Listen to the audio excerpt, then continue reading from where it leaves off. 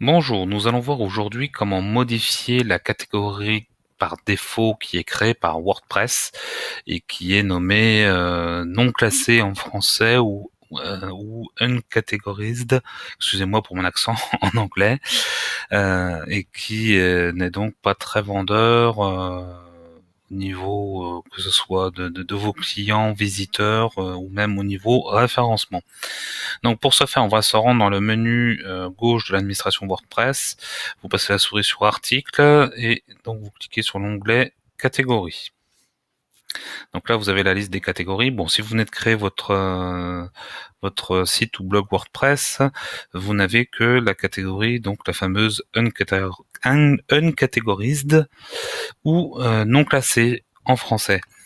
Donc, euh, vous voyez que si on passe la souris sur le sur le titre de la catégorie, on voit apparaître différentes options, dont modifier, modification rapide ou afficher.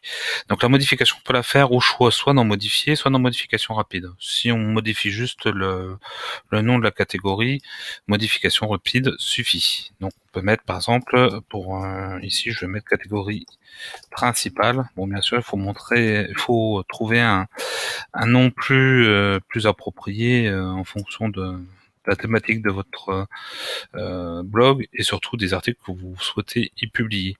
Donc l'identifiant, euh, je vais vous montrer euh, tout d'abord ce que ça va donner si vous n'enregistrez pas un identifiant précis.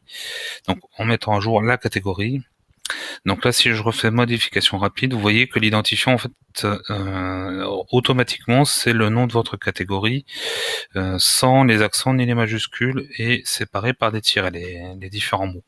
Maintenant, vous pourriez euh, utiliser un, identifiant différent, que ce soit pour le référencement ou, ou autre, auquel cas l'identifiant, vous mettez par exemple, tiens, là pour ici, on va prendre principal.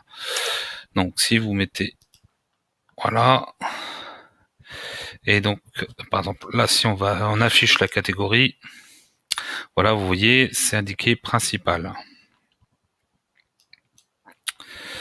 Donc euh, ensuite, euh, bah, si vous voulez modifier euh, de façon plus conventionnelle et surtout apporter une description à votre catégorie, je vous invite à passer plutôt par l'onglet modifier. Auquel cas, le principe est toujours le même pour ce qui est le nom du nom et de l'identifiant, mais cela vous permet déjà de sélectionner un parent si vous êtes une sous-catégorie, enfin si vous voulez en faire une sous-catégorie, et euh, d'ajouter une description, ce qui peut être euh, intéressant au niveau référencement. Voilà, bah écoutez, j'en ai fini avec ce tutoriel vidéo et je vous dis à bientôt pour un prochain. Ciao ciao